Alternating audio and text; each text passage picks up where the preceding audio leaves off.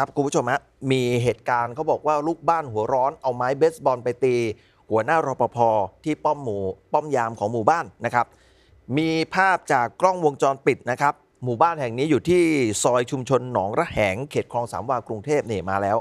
ถือไม้เบสบอลมาตีตีไม่ยั้งเลยโอ้โหนี่ง้างแบบสุดแรงแล้วก็ตีแบบไม่ยั้งนะครับ คนที่โดนตีเนี่ยชื่อนายไมตรี เป็นหัวหน้ารปภนะครับ โดนตีเต็มแรงคือตี คนตีก็ตีไปด่าไปนะคุณผู้ชมฮะหลังจากตีเสร็จหนำใจก็เดินหนีไป เหตุเกิดเมื่อวานนี้ช่วงเช้านะครับ ต่อมาผู้สื่อข่าวได้ลงพื้นที่พูดคุยกับ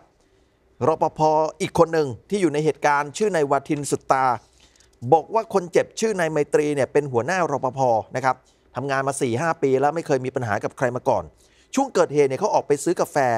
กลับมาอีกทีเห็นลูกบ้านคนดังกล่าวใช้ไม้ฟาดนายไมตรีไม่ยัง้ง จึงรีบวิ่งเข้ามาห้ามพร้อมยกมือไหว้ขอให้หยุดแต่ก็ไม่เป็นผลครับ ลูกบ้านคนดังกล่าวเนี่ยตีจนกระทั่งหนำใจแล้วก็เดินกลับเข้าหมู่บ้านทำเหมือนกับว่าไม่รู้สึกอะไรเลย นี่นะครับ คุณวาทินเห็นเหตุการณ์เนี่ยจึงรีบขอให้คนเนี่ยช่วยเรียก รถกู้ภัยนำนายไมตรีส่งโรงพยาบาล ไปที่โรงพยาบาลสายไหมนะครับ คือเห็นบอกว่าเนี่ยหัวแตกแขนหักฮะต้องเอ็กซเรย์สมองด้วยคุณผู้ชมครับเอาเดี๋ยวลองฟังผู้เห็นเหตุการณ์หน่อยครับบอลมาพอมาถึงเขาก็ฟาดเอาฟาดเอาแล้วเขาก็ร้องมึงด่ากูเลยมึงด่ากูเลยว่างี้ แต่เขาว่าได้ยินคนที่มาทำร้ายเขาพูดว่า กูไม่ใช่รวยคนรวยร่ำรวยเหมือนมึงด่ากูอย่างนี้อืมแล้วมึงมาด่ากูทำไมฟาดเอาฟาดเอาเหมือนคนคลั่งอะกำลังชงกาแฟอยู่นี่แล้ว